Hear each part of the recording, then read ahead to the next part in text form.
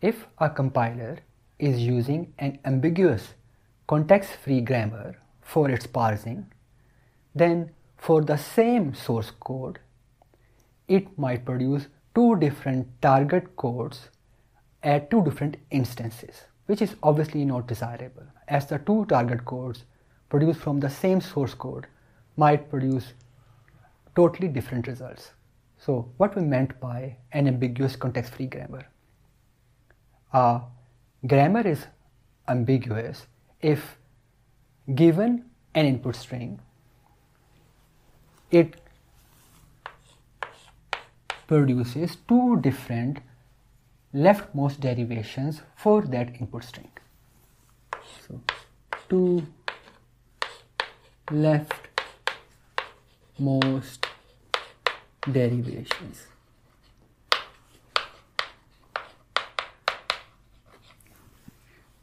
This is equivalent to saying that for a given input string, the grammar produces two rightmost derivations.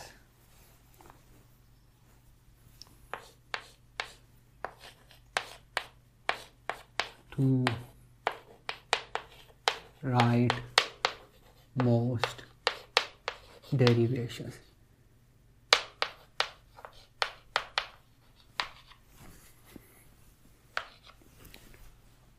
And this is equivalent to that for a given string we may create two different parse trees.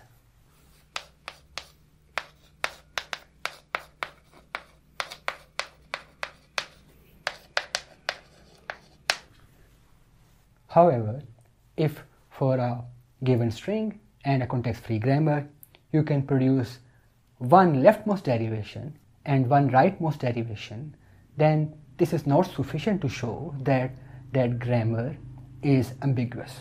It is because every parse tree has one leftmost derivation and one rightmost derivation.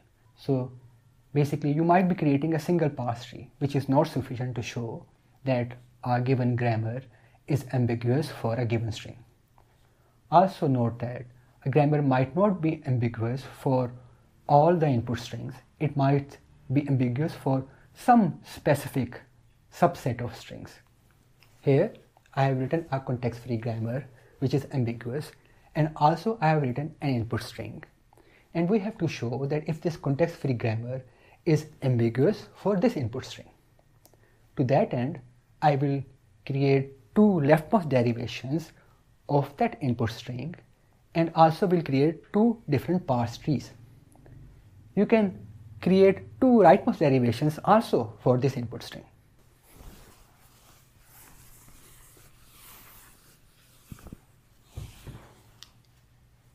I start from my start symbol and then I have to choose every time the leftmost non-terminal and I can replace it with the right hand side of that terminal.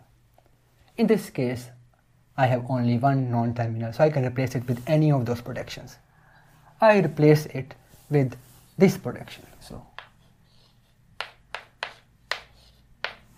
and then I have to replace the leftmost non-terminal because this is a leftmost derivation so I have to replace this one in order to produce this input string I replace this with id. Then I replace this e with e times e. So id plus e times e. Note that this was my leftmost non-terminal, so I'm still following leftmost derivation. This was terminal, so this I can't replace, but this was my leftmost non-terminal. And I have replaced this leftmost non-terminal with this production. Finally, I replace this E with ID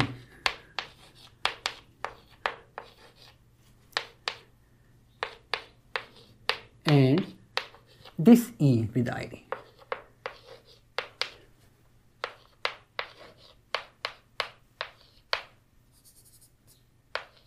So I have started from the start symbol and I have reached to my input string and while doing that I have always replaced the leftmost non-terminal with the right hand side of our production. So this is my one leftmost derivation for this input string and this context free grammar. If this grammar is ambiguous, then I have to create another leftmost derivation. Let's do that. So now I start with from the start symbol and I replace this start symbol with E times E. I have to make sure that I'm replacing the leftmost non-terminals. Now I replace this with production E plus E and this I write as it is. Now I replace this with ID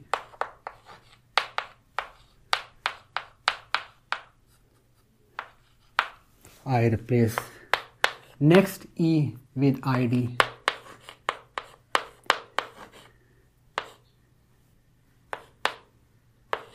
and finally I replace the last E with ID.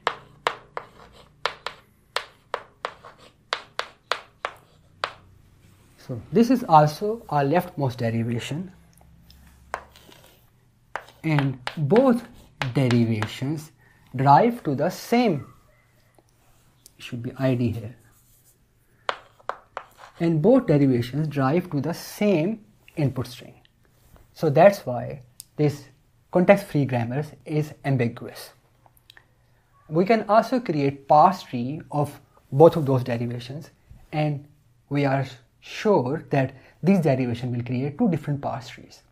If we have one leftmost derivation and one rightmost derivation, then those derivation may or may not produce two different parse trees. Those derivation might produce the same parse tree. So let's create parse tree of these derivations. So let's call it my derivation 1 and let's call this my derivation 2. So I first create parse tree for my derivation 1. I start from the input symbol E, then I replace this E with E plus E, then I replace this E with ID, and then I replace this E with E times E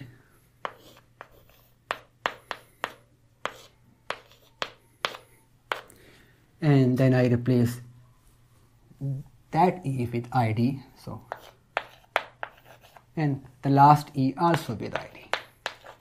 So this is my one parse tree for this leftmost derivation. Now let's create another parse tree for the second leftmost derivation. I once again start from E and I replace this E from E times E and then I replace this E with E plus E. Now I replace all of those E's with IDs one by one.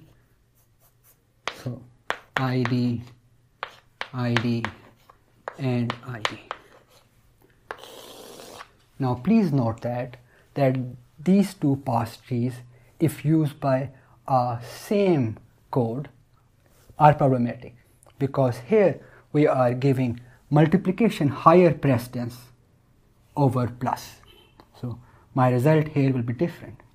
And here we are giving plus more precedence over multiplication. So if I have 2 plus 3 times 5 then this parse tree will first do the multiplication creating result of 2 plus 15 and then it will do the addition. And my final result will be 70 and with this parse tree I will first do the addition. So once again I have 2 plus 3 times 5 so I will first do the addition. So it will become 5 times 5 and then I will do the multiplication. And my result will be 25. Obviously both of them cannot be correct so this is a problem. Now the question should be asked how to solve this problem. We can obviously make this context-free grammar non-ambiguous by a careful look. However, the, making an arbitrary context-free grammar unambiguous using an algorithm is not possible because this problem is undecidable. That means we can never develop an algorithm that takes an arbitrary context-free grammar and make it unambiguous. So what's the solution?